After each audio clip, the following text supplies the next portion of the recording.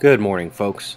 Dozens dead from lightning alone is a reality in India. Same with severe weather in China, where hail, landslides, and flooding have killed almost 40 people. What happens when a bully backs down from a threat? We're going to find out soon with these sanctions looming in Iran, who should probably keep fines like this under wraps if they don't want the US government coming in and taking it. I swear each day I flip flop on which Euro nation I think is going to bring it all down.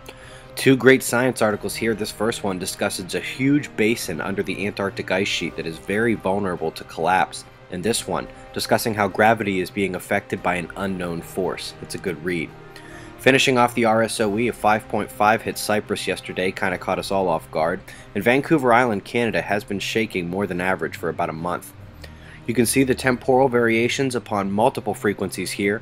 Imagine the Earth like a guitar and a novice kid just strummed every string haphazardly. Well, the kid here is a continuing coronal hole stream. Not as fast as her peak right now, but still well above 500 kilometers per second. We do have another one on the way. But look above the yellow and there's almost no density again. You can see that deficit of particles here on the Ovation Prime, and that's the primary reason why the full magnetic storm has not materialized. Having a look at the primary active region, the backside of the spot is in decay, but there is still potential for instability where the red and the blue swirl together at the front here. We also have a new set of active regions turning the northeastern limb, and they are already appear uh, mature and bipolar. Luckily, both of these active regions are nowhere near the Earth footprint. It's good to finally have this updated again.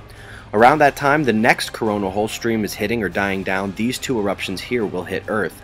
You can see the filament and the active region go off here, and the endless spiral indicates likely impact with Earth. That's Jupiter creeping behind the Sun there, set to conjoin tomorrow. We're about a week away from the solar eclipse, folks, and we're just getting started after that. Solar Watch is full, Quake Watch is building. Be safe, everyone.